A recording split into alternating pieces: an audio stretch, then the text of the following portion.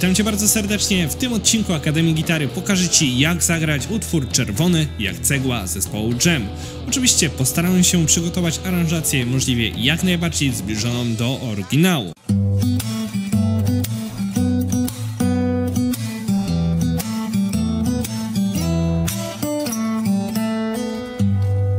Akademia Gitary.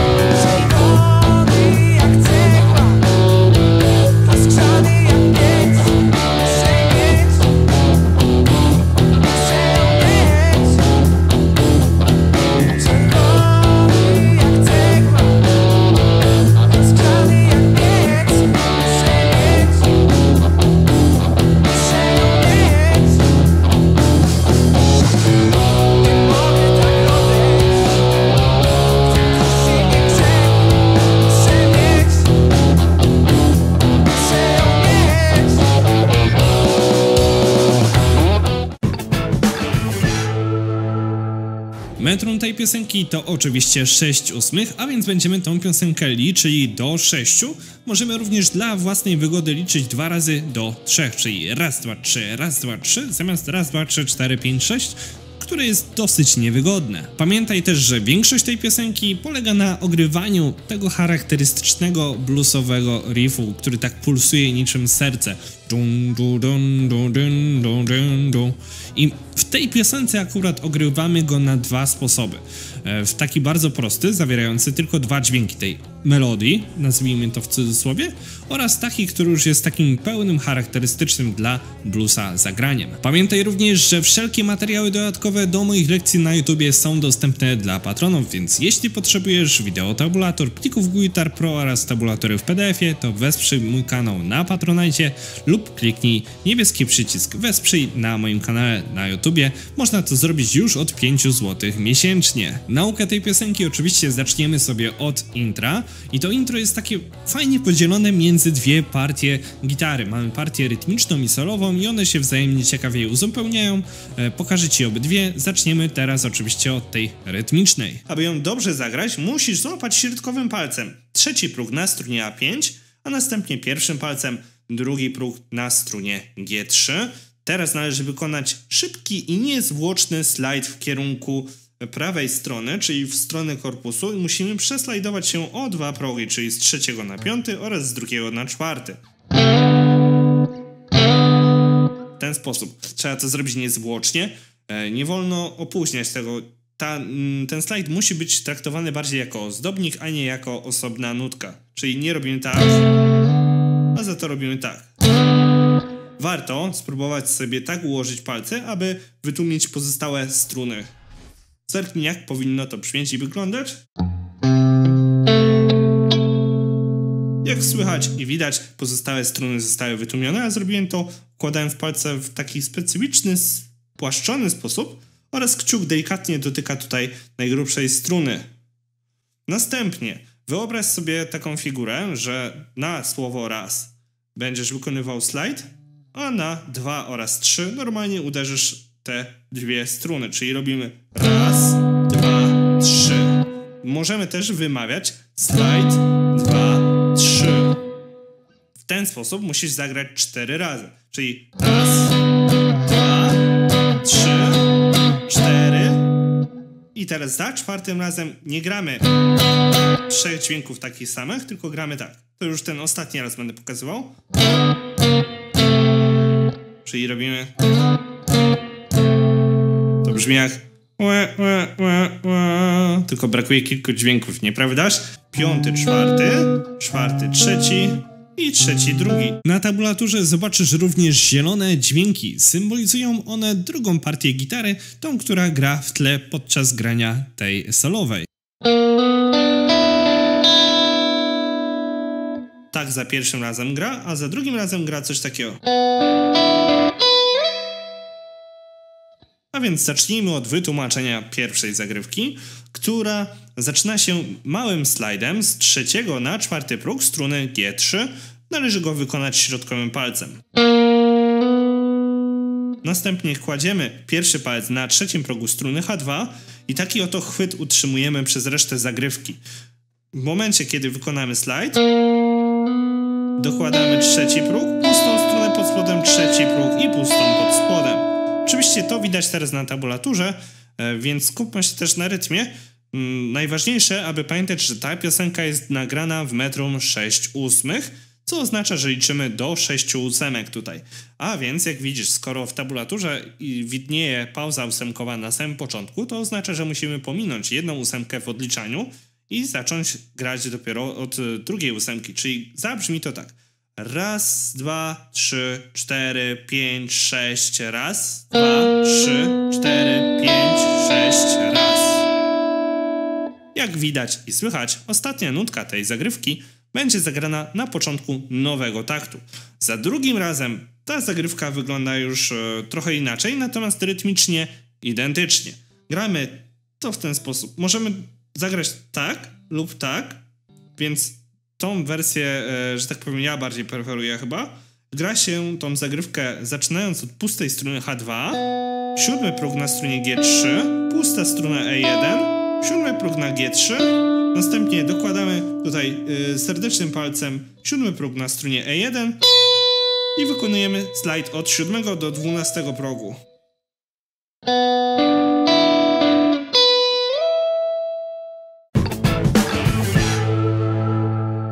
Pokażę Ci teraz, jak zagrać zwrotki w tej piosence, a są one napisane w bardzo charakterystyczny dla bluesa sposób. Można powiedzieć, że to jest tak zwany bluesowy riff, bluesowy pattern. Pokażę Ci, jak powinien być zagrany w tej piosence. Ale uwaga, w pierwszej zwrotce gramy to w taki sposób, że zaczynamy od pojedynczego akcentu, czyli gramy coś takiego. Tara, tara, tum, tum.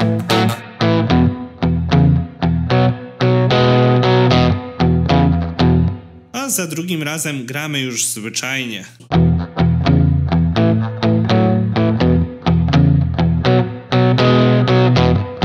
I tak w kółko. Mamy tutaj cztery takty tego patternu, jakby cztery akordy.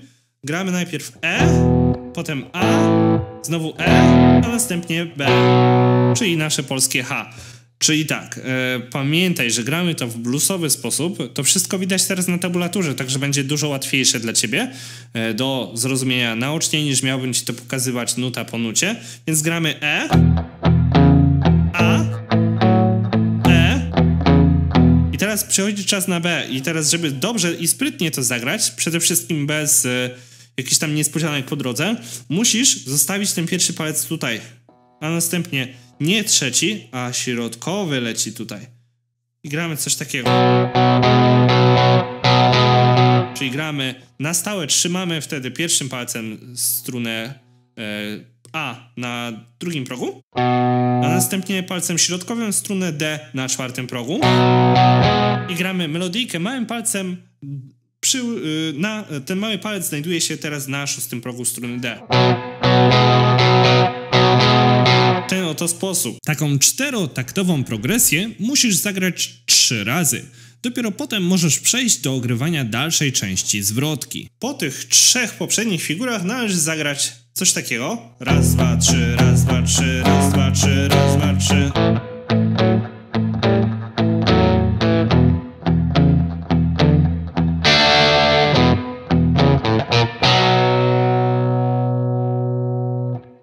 Mamy takiego mega klasycznego bluesa. Całość zaczynamy od power chordów E oraz Fizz. Gramy je tak. Raz, dwa, trzy, cztery, pięć, sześć. Raz, dwa, trzy, cztery, pięć, sześć. A następnie znowu mamy e, bluesa. Typowe granie bluesa, ale tym razem dokładamy kolejną nutkę w bluesowej melodii, w tym riffie całym, w tej zagrywce. Gramy cały czas z pustą struną. Ja będę wymieniał progi, jakie grane są na strunie D4, a cały czas pusta struna A będzie grała nam bas. Czyli gramy 2, 2, 4, 2, 5, 2, 4, 2 i przechodzimy piętro wyżej, gdzie pusta struna E robi za bas, a na strunie e, A5 gramy melodię, czyli melodię riffu. Gramy potem 2, 2, 4, 2, 5, 2 i teraz normalny, tradycyjny akord D i znowu 2, 2, 4 i teraz uwaga 0, 1, 2 i gramy tak ale na tym drugim progu dokładamy czwarty próg pod spodem, aby utworzyć już power chord. I ten akord y, B będzie trwał pełen takt, czyli raz, dwa, trzy, cztery, pięć, sześć. I teraz za pierwszym razem grając to będziemy grali ponownie zwrotkę, a potem będziemy grali refren, jeśli już za drugim razem to zagramy. Pokażę Ci teraz, jak zagrać refren. Myślę, że jest on na tyle prosty, że wystarczy, iż go zagram powolutku z ewentualnym tłumaczeniem w trakcie grania. A więc lecimy do dzieła. Zaczniemy nie inaczej jak od klasycznego bluesowego riffu. Zaczniemy od ogrywania akordu A7 w bluesowy sposób, czyli gramy dźwięk basowy plus melodię riffu, czyli gramy tak. A-dur, 2, 2, 4, 2, 5, 2, 4, 2, 2, 2, 4, 2, 5, 2, D. Następnie ogrywamy E, 2, 2, 4, 2, 5, 2, D, dur. 2, 2, 4, 2, 5, 2, 4, 2. Następnie znowu ogrywamy A-dur w bluesowy sposób. 2, 2, 4, 2, 5, 2, 4, 2, 2, 2, 4, 2, 5, 2, D. A następnie znowu ogrywamy E-dur i tym razem będziemy mieli przejście na drugą część refrenu. E, mamy tak, od początku 2, 2, 4, 2, 5, 2, 2, 2, 4, takie bardzo charakterystyczne dla bluesa przejście, co nie?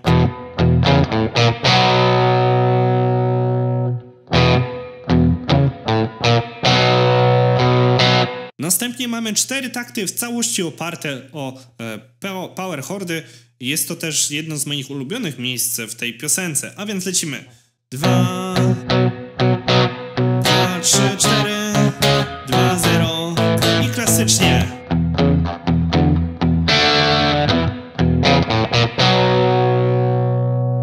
Możesz również spróbować zagrać tą część refrenu nieco gęściej, ale to wszystko będzie zależało od podkładu, do którego będziesz grał. Więc zobacz tą drugą alternatywną wersję. Czyli możemy grać tak.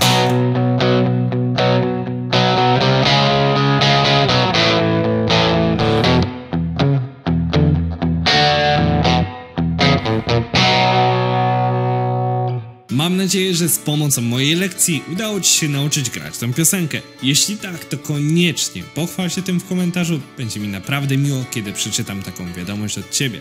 Jeśli możesz, zostaw łapkę w górę pod tym filmem, zasubskrybuj mój kanał i udostępnij ten film znajomym, którzy uczą się grać na gitarze. Będę bardzo za to wdzięczny. Dziękuję Ci za obejrzenie tego filmu. Pozdrawiam Cię, życzę miłej nauki. Cześć!